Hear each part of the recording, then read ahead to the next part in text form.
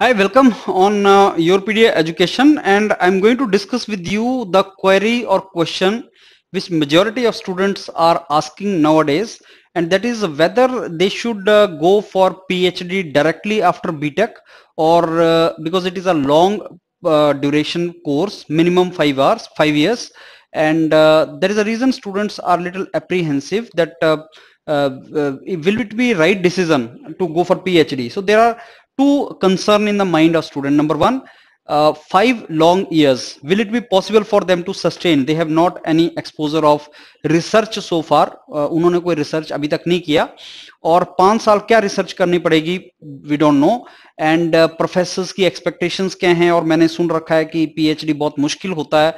IIT के अंदर और भी मुश्किल होता है और uh, मेरे से हो पाएगा कि नहीं हो पाएगा? That is one query second is के पीएचडी के बाद क्या होगा? मतलब पीएचडी मैं कर तो लूँ बी बीटेक के बाद डायरेक्टली पीएचडी लेकिन उसके बाद क्या होगा? जॉब कहाँ लगेगा? प्लेसमेंट होता है कि नहीं होता है?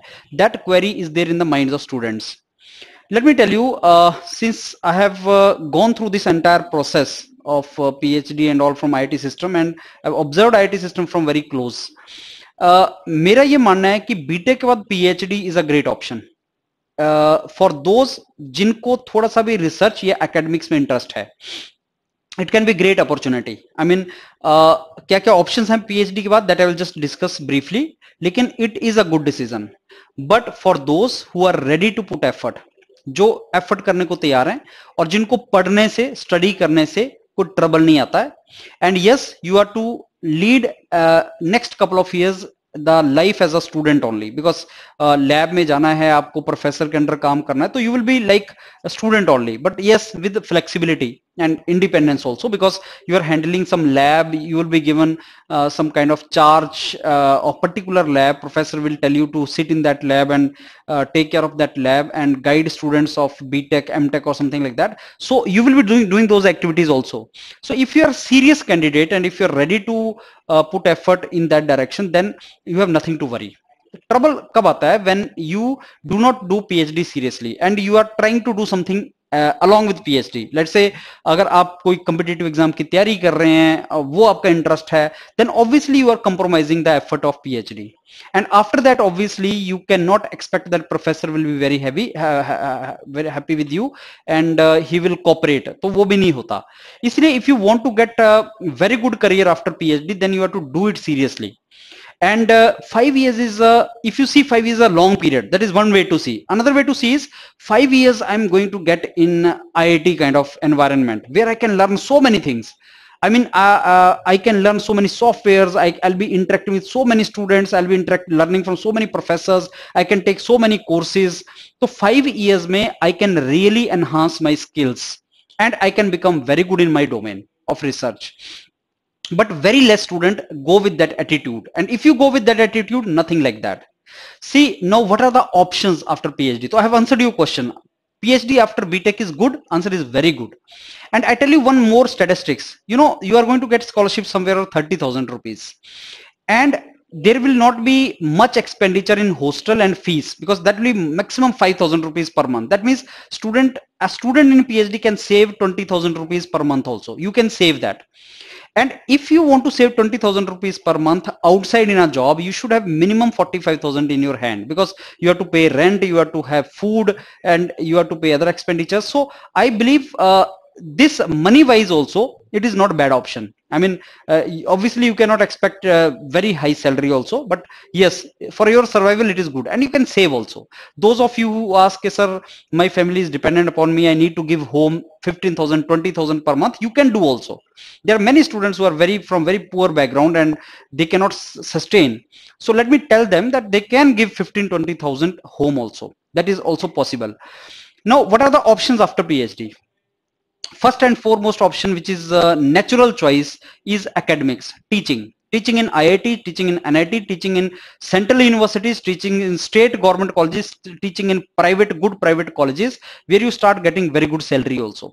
So if you have published papers, if you have really good knowledge of your domain, then even private universities are paying you very high. Like uh, BITS Pilani, uh, you see Vellore Institute of Technology, PSG Coimbatore, Thapar Institute in Punjab. So there are so many universities, private sector universities, which are ready to poach you if you do really good work. So that is number one. That is the easiest thing you can get. And if you are done really good PhD work and some postdoctorate fellowship experience, you can get into IITs also. So suppose you have done PhD from IIT Bombay, you can become faculty in IIT Kanpur and majority of uh, faculty in NIT system are from IIT. I mean, you've done IIT Kanpur se PhD, you can become professor in NIT, and this is a very good, uh, basically line uh, uh career back career option for girl candidates. So very good, and you know.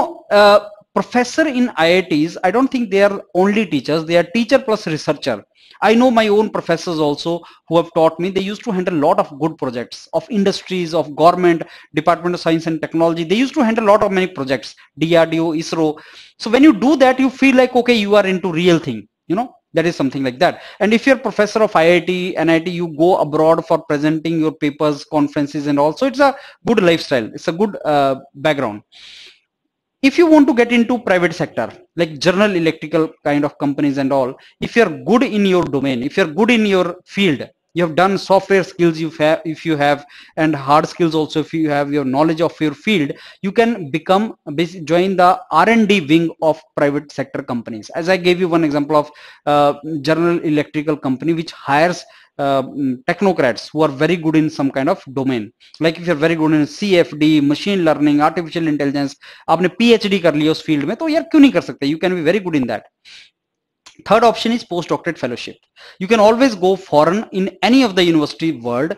Phd is a degree which will increase your flexibility to go to any country and pursue postdoctorate fellowship which is just like doing job in university only as a professor. So it is like that. You can go to any university of the world so what is the crux, sir? Crux is PhD is a very big degree. You know, it is a very safe option. Once you have PhD in your pocket, you will get some job here or there. You will positively get a job.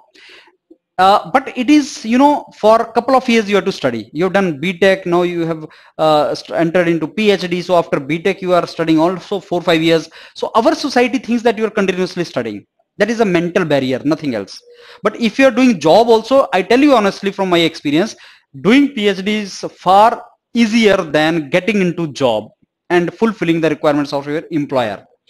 And here you are getting basically a degree also. So that is a good option. But only for those students who are going there to do phd. Those who are going there to do competitive exam preparation ias preparation engineering services preparation for them obviously this is a not a good option. It is going to create trouble for you. Your relation with your professor will not be good and all.